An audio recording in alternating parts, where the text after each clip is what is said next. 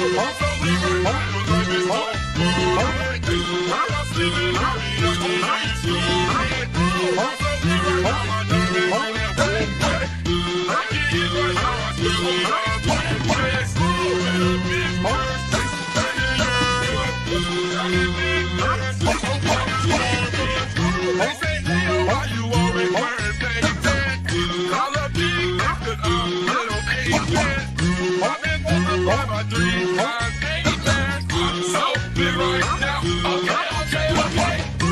I'ma do so all up on you. In Barbados, eating sushi like I'm